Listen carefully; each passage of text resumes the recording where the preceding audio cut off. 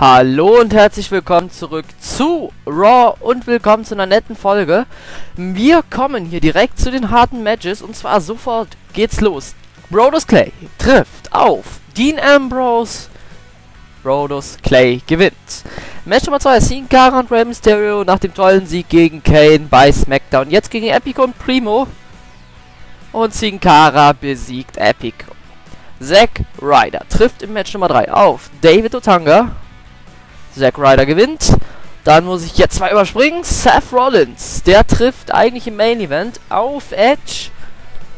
Nettes Match. Mitglied des Shields gegen Edge.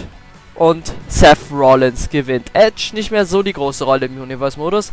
Und dann kommen wir jetzt zu dem Match, was ich mir gewünscht habe. Und zwar Haupt, also das habe ich mir nicht gewünscht, die kann man ja nicht selber booken, aber das Match, als als ich das gerade gesehen habe, wusste ich, das kannst du nicht einfach simulieren, das musst du auch zeigen.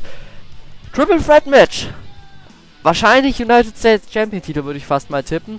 Dolph Ziggler, Rob Van Dam und Daniel Bryan. Also es ist wirklich krass. Also einmal Dolph Ziggler, der hat ja bei Vengeance eh sein WWE Champion Titelmatch sicher, also ich weiß nicht, was passiert, wenn der jetzt gewinnt. Dann Daniel Bryan, der will sich vielleicht seinen Titel ja zurückholen. Und Rob Van Dam, da haben wir ja heute Nacht, also wenn ich jetzt gerade aufnehme, heute ist Montag, also ich, wenn ich aufnehme, diese Nacht war Payback und da wurde angekündigt, dass Rob Van Dam bei Money in the Bank zurückkehren wird. Quasi die Clown hier bei Luca Rano im Universe-Modus.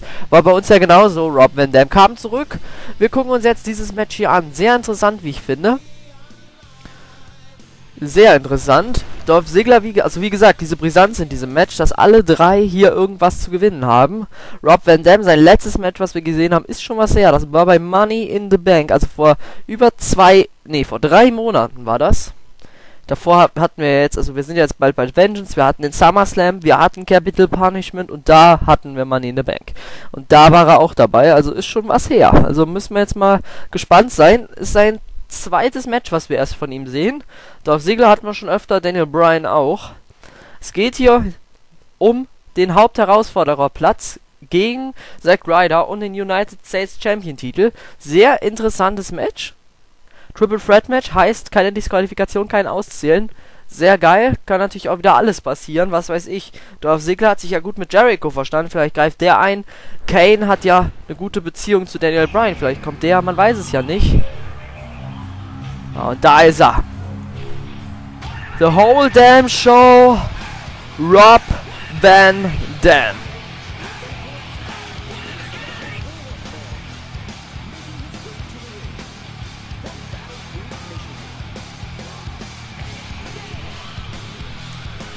Ja, soviel zu Rob Van Dam. Der ist wahrscheinlich ziemlich siegesgewillt. Endlich hat er mal wieder ein Match.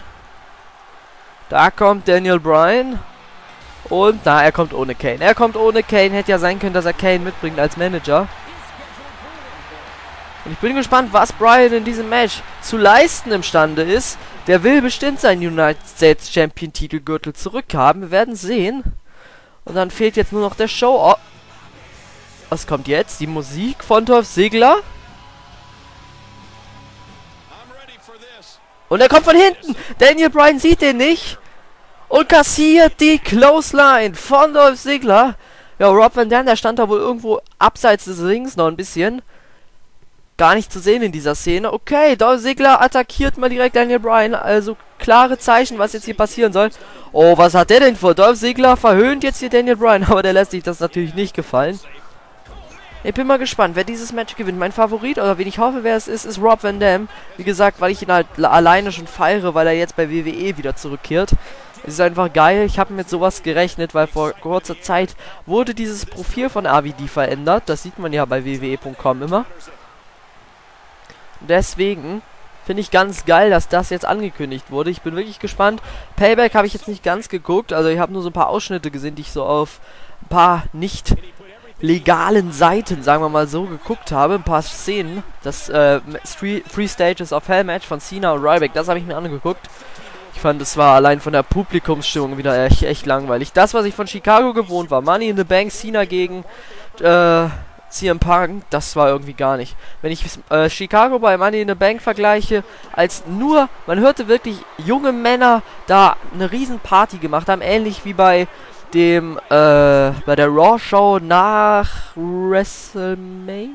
War das nach WrestleMania? Auf jeden Fall da, wo Dolph Ziggler halt World Champion geworden ist, wo die auch abgegangen sind. Sowas will ich haben und nicht wie gestern in Chicago, da habe ich wieder, allein als hier im Punk kam, man hört nicht dieses, sagen wir mal, ich sag's jetzt mal, Stu Studentengegröle. Was hört man? Man hört irgendeine Kinderstimme, die da rumfiebst. Fand ich nicht so geil, naja. Ich weiß nicht. Also ich wäre echt mittlerweile dafür, dass Leute unter 18 nicht mehr in die WWE-Hallen rein dürfen oder unter 16. Allein wegen der Stimmung. Das wäre schon mal geil. Klar, die WWE macht riesen Geld mit diesem Merchandising. Fanartikel an Kinder, das ist natürlich klar. Aber ganz ehrlich, die Stimmung leidet doch darunter. Klar, ich als, was weiß ich, 13-jähriger Junge würde auch nicht so ausrasten, vor allem mit meiner Piepse-Stimme kann ich da nicht so viel Stimmung machen. Aber generell, nee. Also, ihr könnt ja mal eure Meinung sagen, was ihr davon haltet. Ich fand auch das Free Stages of Hell Match, wer es gesehen hat, eher wieder ziemlich öde. Finale war wieder richtig vorherzusehen. Musste ja irgendwas Extremes am Ende passieren und so geil fand ich das jetzt nicht. Ich will jetzt nicht spoilern, was passiert ist, deswegen nachher ist hier jemand beschwert, der jetzt hier das Video guckt, aber sich das Ganze noch ansehen wollte. So, dieses Match, wir finden uns jetzt hier draußen am Ring wieder. Kommentatorentisch ist schon abgedeckt, allerdings noch nicht kaputt, also zerstört worden. Kommt bestimmt noch. AVD und CM... Ach, AVD und CM Punk. AVD und auf Segler wechseln sich ab. Brian taumelt so ein bisschen vor sich her. Und dieses Duell Brian und Sigler hatten wir ja schon in der Turnierphase. Da war AVD ja, glaube ich, rausgeflogen in der Vorrunde gegen R-Truth, glaube ich. Ich weiß es nicht mehr ganz. Ich kann es mal eben nachgucken.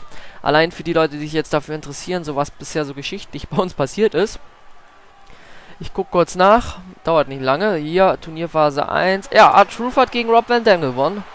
Danach ist er allerdings gegen Alberto Del Rio rausgeflogen. Und Daniel Bryan, der dreht jetzt hier richtig auf duckt ab und kommt mit dieser Clothesline angeflogen. Ja, wenn es sonst nichts ist. Und jetzt Coverversuch schon. One. Aber ein AVD, der weiß natürlich, da kommt er locker noch raus. Kontert da jetzt Brian aus. Ja, ich bin mal gespannt, wie dieses Match zu Ende geht. Wir haben ja verschiedenste Finisher. Daniel Bryan mit seinem No-Lock. Dorf Ziggler mit dem Zigzag und dem, Sub dem Sleeper holt. Und natürlich AVD, der natürlich mit dem 5-Star Fox Splash den wahrscheinlich spektakulärsten Finisher hat. Ich bin gespannt, ob wir den vielleicht heute sehen werden. Keine Ahnung. Werden wir gleich sehen. Ja, und Zack Ryder, der wird bestimmt jetzt Backstage stehen und sich dieses Match hier sehr gut angucken. Der will natürlich wissen, gegen wen er antritt. Ich weiß noch nicht, ob dieses Match dann schon bei Vengeance passiert. Werden wir sehen. Ich habe, wie gesagt, Planungen immer für Vengeance, also für alle Pay-Per-Views und alle Shows. Und ich will da eigentlich nicht so viel vorher schon vorweg äh, sagen, was passieren wird. Habe ich ja jetzt eh schon gesagt. Bei Vengeance habe ich ja schon einiges angekündigt. Ja, jetzt ist Brian wieder raus. Jetzt geht's wieder raus. AVD, der guckt sich das Ganze so ein bisschen an. Klar, der hat genug Erfahrung. Und jetzt kommt er mit der Springboard, mit dem Springboard Dropkick aus dem Ring raus und trifft Daniel Bryan im Rücken. Das war hart, auf jeden Fall. Ja, Sigler jetzt draußen. Also, wie gesagt, Finisher werden das Ganze hier vielleicht wieder entscheiden. Aber da müssen wir natürlich erstmal hinkommen. Vielleicht auch wieder eine Aktion durch den Kommentatoren-Tisch. Die sehen wir ja häufiger mal. Oh, schöner Sidekick von AVD. Die whole fucking Show. Ich hoffe wirklich, dass er bei Money in the Bank jetzt bei der wirklichen WWE im Leitermatch drin ist, so wie er bei uns im Universe-Modus auch drin war. Also ich glaube, ich werde bald angerufen bei WWE und werde zum Booker eingestellt. Ja, und jetzt muss Daniel Bryan da hinten gegen die Ringtreppe. Jetzt geht's zurück in den Ring mit den anderen beiden. Komm. Aber irgendwie gehen sie beide nur auf Daniel Bryan. Keine Ahnung. Ah, jetzt geht's da in die Absperrungsecke. Was hat denn Sigler vor? Da kennen wir ja, da passieren gerne mal ein paar Sachen. Und dann geht's gegen den Ringpfosten. Gegen den Ringpfosten, ja, und dann fliegt er nochmal dagegen. Daniel Bryan muss aufpassen. Für den sieht's nicht gut aus. Und die anderen beiden haben eigentlich noch gar nicht so viel eingesteckt. So, AVD jetzt. Ja, kann da ausweichen. Jetzt sind sie wieder im Ring. So will ich das. Vorarm von AVD. Sidekick, sehr gut. Trifft Daniel Bryan genau da, wo es sein muss. Und Springboard Plancher, aber der geht daneben. Ja, Sigler. Neckbreaker. Ja, Neckbreaker gegen Daniel Bryan. Und das kennen wir. Monkey Salt von AVD. Und das ist meistens eine Vorstufe für den 5-Star Frog Splash. Jetzt bin ich mal gespannt, ob der denn auch gleich kommt. Daniel Bryan taumelt. Klar, der hat gerade den Monkey äh, Salt eingesteckt. Das ist natürlich eine krasse Aktion. So, jetzt liegt, liegt Sigler da. Und Daniel Bryan, der taumelt. Der hat schon viel eingesteckt in diesem Match. Wird AVD in diesem Match den 5-Star Frog Splash zeigen? Das wäre natürlich der Oberhammer. Aber jetzt geht er erstmal raus. Aber AVD kann sich da direkt befreien. Komm, AVD, du hast es doch auf der Hand. Du musst jetzt nur weitermachen. Du hast mehr Erfahrung als die beiden. Daniel Bryan, ne? ich dachte, kommt eine Springboard-Aktion. Kommt aber nicht. Jetzt geht's aber erstmal in die Ringecke. Was hat Bryan vor? Dropkick geht daneben. Was macht AVD? Hebt jetzt Daniel Bryan hoch. Aufs oberste Seil. Und jetzt? Und jetzt sieht nach Back Suplex aus. Back Suplex vom zweiten Seil. Harter Aufprall für Daniel Bryan.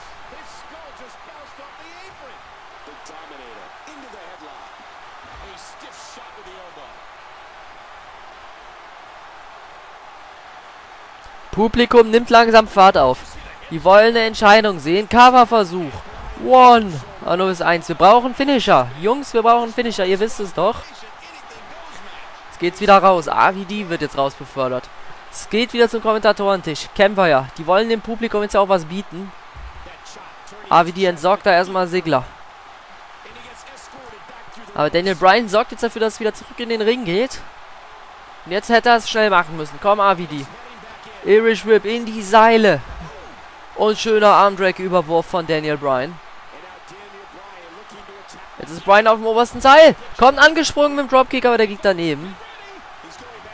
Und Segler befördert AVD wieder raus. Also Segler hat jetzt Gefallen gefunden an AVD. Und der taumelt. Der taumelt und was macht Segler? Befördert ihn nochmal gegen die Absperrung. Publikum ist jetzt da. Publikum will hier eine Entscheidung haben.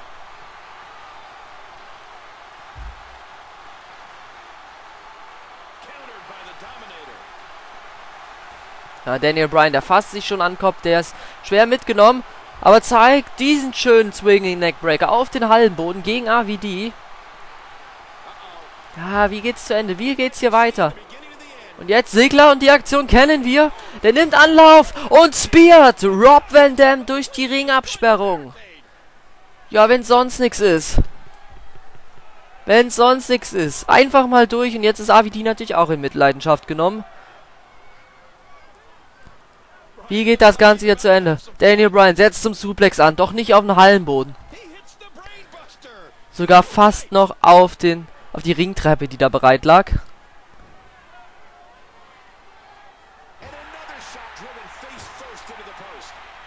Mit dem Kopf zuerst gegen den Ringpfosten. Jetzt ist er wieder da. Jetzt müssten sie vielleicht wirklich mal im Ring bleiben, damit sie vielleicht auch eine Entscheidung herbeirufen können. So, und Bryan, der nimmt jetzt schon mal die Ringtreppe mit in den Ring.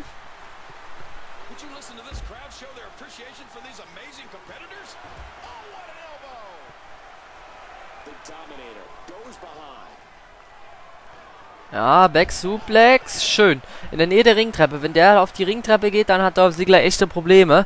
Aber so vielleicht noch aushaltbar. Ja, es kommt nicht zu einer Entscheidung so wirklich. Ja, jetzt sind sie wieder alle drei draußen. Wahrscheinlich will jetzt auch keiner den entscheidenden Fehler begehen und gepinnt werden. Ja, AVD wird jetzt seinen Arm wahrgenommen. Ja, und landet jetzt wieder mit dem Kopf gegen den Ringpfosten. Ja, und wieder dagegen, wieder dagegen. Also, dem kann es echt langsam nicht mehr gut gehen. Jetzt ist das Match wirklich schon ein bisschen länger. Also, die Matchzeit ist schon ein bisschen länger. Jetzt kann bald eine Entscheidung kommen. Schöner Dropkick von Daniel Bryan, aber geht auch halb daneben.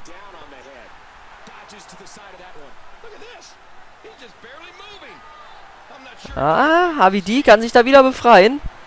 Ich weiß echt nicht, wie wir hier zu einem Ende kommen sollen. German Suplex von Daniel Bryan. Also es ist so ausgeglichen. Alle haben vier eingesteckt. Sigler hat vielleicht noch am wenigsten eingesteckt. Daniel Bryan jetzt. Nimmt sich Dolph Ziggler und zeigt den Swinging Back Suplex. Und jetzt will er scheinbar den No-Lock zeigen. Eindeutiges Zeichen oder den Yes-Lock. Und jetzt, nein! Das ist der, der Neck-Lock. Neck-Lock. AVD muss dazwischen gehen. Ja, AVD geht dazwischen und Daniel Bryan muss den Move wieder lösen. Naja, da bin ich ja jetzt mal gespannt. Jetzt kommen wir dem Ende wirklich entgegen. Schöner Suplex. Schöne Aktion von Daniel Bryan. Zieht jetzt Dolph Ziggler in AVD gestaubt ab. One. Äh, Nummer 1. Es muss ein Finisher her, ein richtiger. Schöne Aktion. Aber AVD landet dabei voll auf der Ringtreppe. Da hat er sich jetzt auch wieder wehgetan bei. Ziggler mit dem Konter.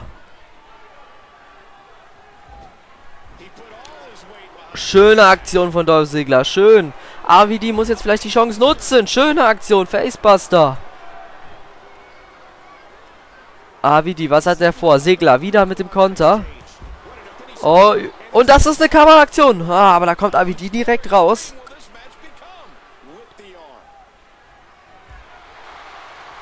Ah, jetzt endlich. Doppelteam-Aktion. Double Neckbreaker gegen AVD. Jetzt arbeiten sie zusammen. So muss man es auch machen in einem Triple Threat Match. Ab und zu auch mal zusammenarbeiten. Coverversuch von Sigler. One. Aber nur bis eins. Wieder Doppelteam-Aktion. Ja, jetzt zeigen sie endlich was. Double Suplex. Sehr schön. Ja, jetzt gegen Dolph Segler. Jetzt kriegt jeder mal sein Fett weg. Ein Roller von AVD. One. Aber nur bis eins. Nur bis eins. Wieder Doppel. Also jetzt geht's wirklich hin und her. Was kommt jetzt? Oh, wow, wow. Double Backbreaker. Und jetzt will Sigler den Zigzag zeigen. Und da kommt der Zigzag von Dolph Sigler. Ja, Daniel Bryan nimmt ihn sich jetzt. Der will das Cover abstauben. Natürlich muss er dazwischen gehen. Cover von Sigler. One, two.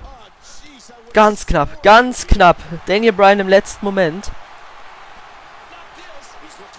Und jetzt der Aufgabegriff von Daniel Bryan. Sigler hängt da im Seil, muss dazwischen gehen.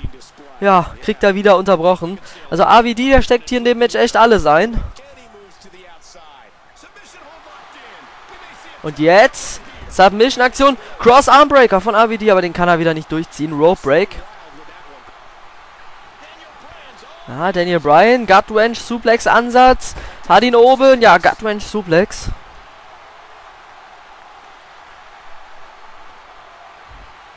Coverversuch von Segler. One, two. Und wieder bei zweieinhalb geht Daniel Bryan dazwischen. Komm, jetzt die nächste Doppelteam-Aktion. Double Stomach Breaker, jawohl, geht auch durch. Wir brauchen eine Entscheidung. Das Publikum eben jetzt wieder da. Eben war es was ruhiger. Elbow Drop von AVD. Neckbreaker von AVD. Auch nochmal hinterher. Gaba Versuch, aber direkt aufgebrochen. Segler mit dem Konter. Lässt sich hier nicht fertig machen. German Suplex, sehr gut. Gegen AVD. Jetzt ist die Treppe rausgefallen.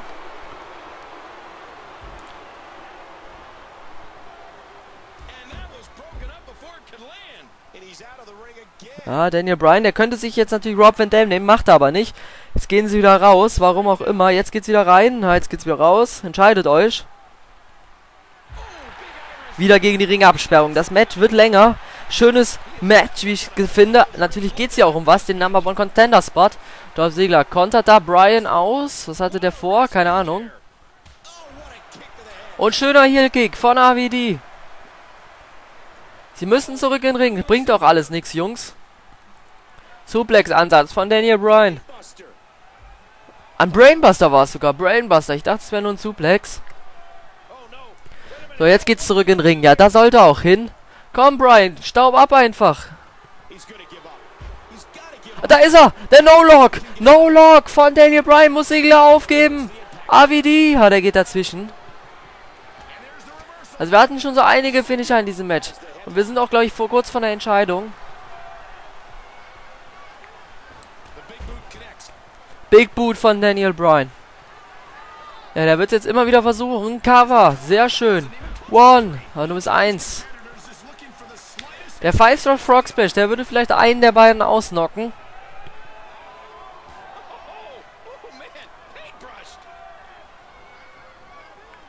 Die taumelt. Und wird jetzt da in das Cover genommen. Aber direkt kommt er raus. Direkt kommt er raus. Nicht mal eine Sekunde drin. Ja, wieder Überwurf. Also sie kontern sich jetzt aus. Wie gesagt, niemand will den entscheidenden Fehler machen und hier nachher als Verlierer dastehen. Back Suplex gegen Sigler. Und jetzt will Daniel Bryan anscheinend wieder mal Finisher benutzen. Der Yes-Lock steht in der Planung. Ein Roller von Segler. One, two. Und so gerade geht er dazwischen. Nein, umgedreht. One, two. Wieder, jetzt geht er dazwischen. One, two. Umgedreht. One, two. Ja, wie im Zirkus. Hier drehen immer um. Daniel Bryan kann nichts machen. Die jetzt. One, two. Wie lange soll das gehen? One, two. Leute, wie lange soll das noch gehen? Kommt jetzt hier noch eine Entscheidung, oder nicht? Nee, kommt keine. AVD kann sich jetzt endgültig befreien. Ja, und jetzt muss Daniel Bryan eigentlich nur die Chance nutzen, wenn einer angeschlagen ist und den dann direkt in den No-Lock nehmen. Fellmesser von Dolph Ziggler, das ist eine Submission-Aktion, äh, eine Signature-Aktion gewesen. Einroller von Brian Cover. One, two. Umgedreht. One, two. Wieder umgedreht. One, two. Nein, Mann. One, two. Dolph Ziggler jetzt. Nein, wieder aufgebrochen. Sie kriegen ihren Gegner nicht bis drei auf der Matte.